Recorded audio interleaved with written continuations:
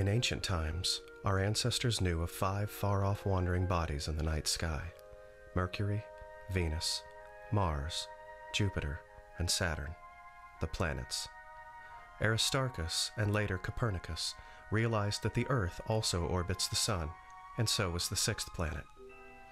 The discovery of other planets would have to wait on the technological advancements brought on by the Enlightenment.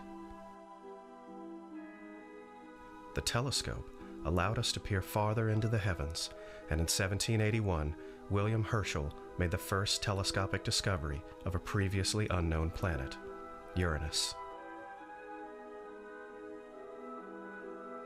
In 1821, French astronomer Alexis Bouvard published tables he calculated for Uranus's orbit, and when subsequent observations disagreed with them, he theorized that an unknown body's gravity must be slightly shifting the orbit.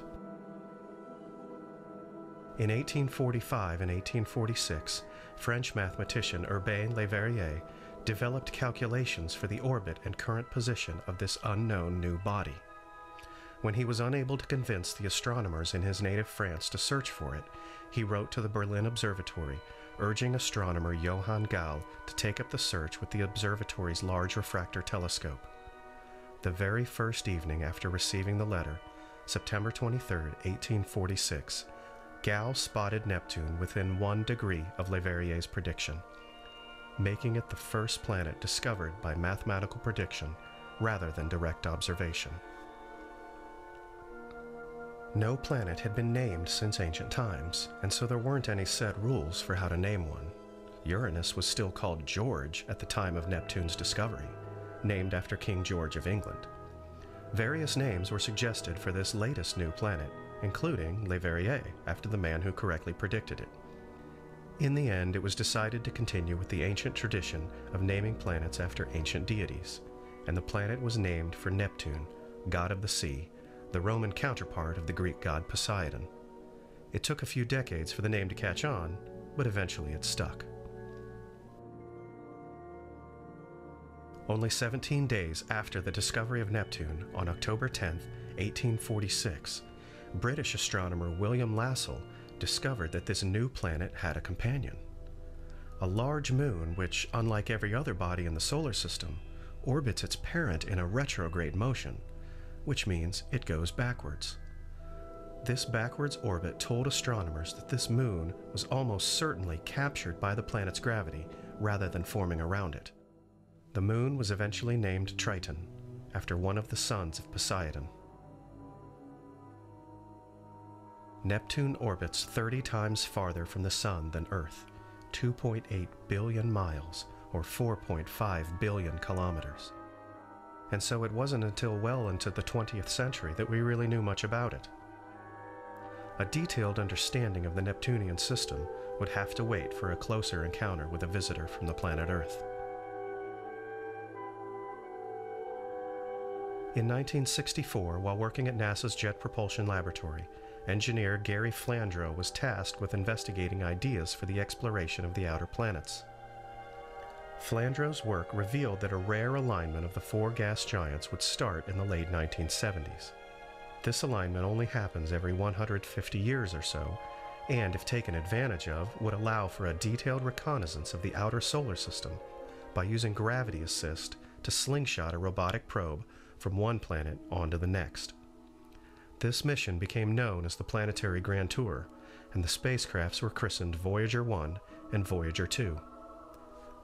Voyager 1 flew by Jupiter and Saturn only, but Voyager 2 continued on to Uranus and in 1989 made its flyby of the Neptunian system. Voyager found Neptune a beautiful blue jewel floating in the heavens, so far out that the Sun appears just a very bright star rather than the body that Neptune itself actually orbits. Voyager confirmed the suspected third moon, later named Larissa, and discovered five additional moons Naiad, Thalassa, Despina, Galatea, and Proteus.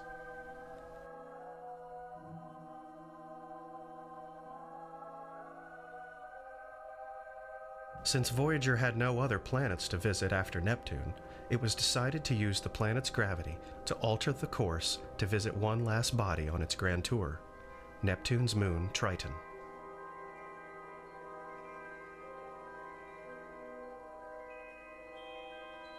Triton, the coldest body in the solar system at negative 391 degrees Fahrenheit, or negative 235 degrees Celsius, is most likely a Kuiper Belt object which came too close to Neptune and got captured by the giant planet's gravity.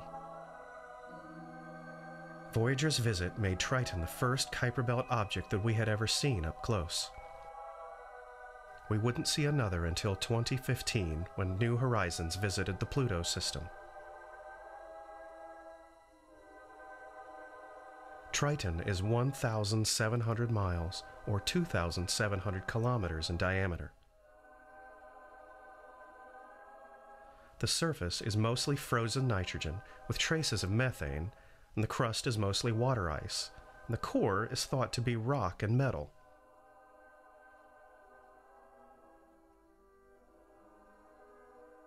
It was assumed that a body this cold and remote would have no geologic activity at all but the Voyager team was astonished to see evidence of recent volcanic activity and then to actually see geysers of ammonia and water shooting 8 kilometers up above the surface. Triton was not just a cold, dead world after all.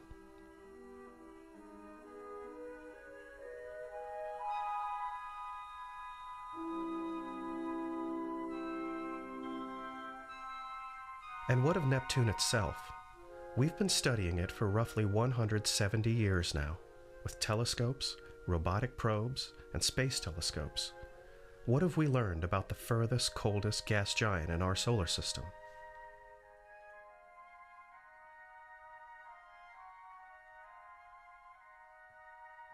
One year on Neptune is almost 165 years on Earth.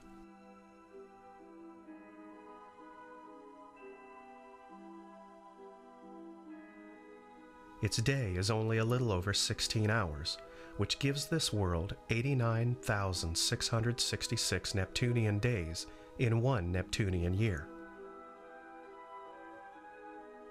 The diameter of the planet is 49,244 kilometers, or 30,599 miles, with a surface area roughly 15 times that of Earth and a volume almost 58 times Earth's.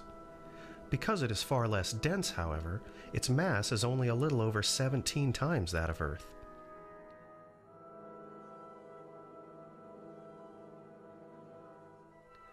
From the cloud tops to the center of the planet, there are three main regions the atmosphere, the mantle, and the core. The atmosphere makes up about 5 to 10% of the planet's mass, and it is about 80% hydrogen 19% helium, with the remaining 1% being traces of hydrocarbons such as methane. It is this methane in the atmosphere which gives Neptune its beautiful deep blue color.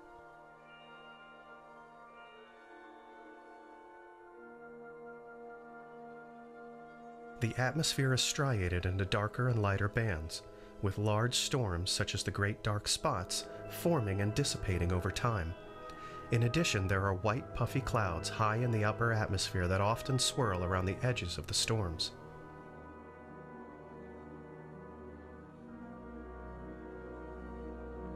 Winds in the upper atmosphere are the fastest in the solar system, reaching speeds of 1,300 miles per hour or 2,200 kilometers per hour.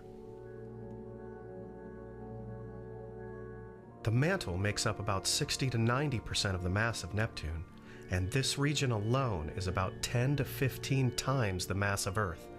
The mantle is made up of ices of ammonia, water, and methane.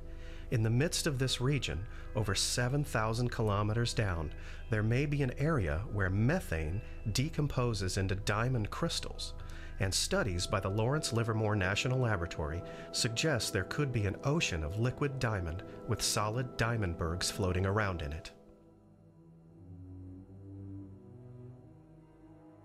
In the very heart of the planet is the core.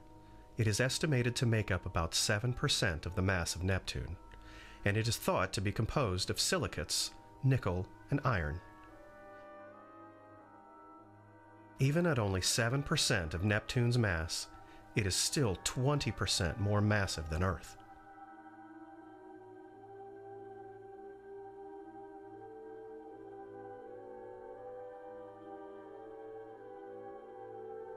Like all of the other gas giants in our solar system, Neptune is surrounded by planetary rings.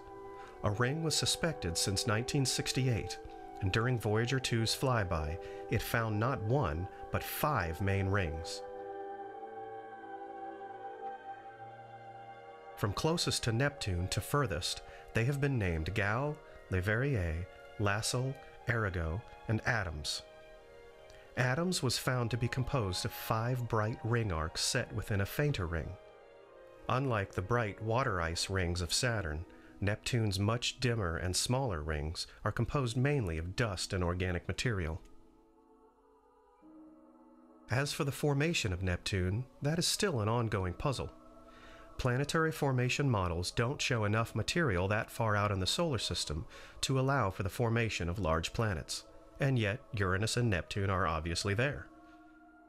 Current theory suggests that our two ice giants actually formed in closer to the Sun and then migrated outwards, perhaps by gravitational encounters with their larger neighbors, Jupiter and Saturn, combined with countless encounters with smaller bodies, eventually coming to a gravitational equilibrium in their current orbits. In 2011, Neptune finally completed one full year, or orbit around the Sun, since its discovery in 1846.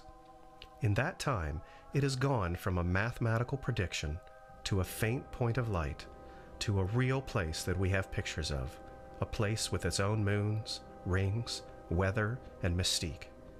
It has been shown to be a full, vibrant planetary system in its own right, full of wonders to admire and many more mysteries to explore.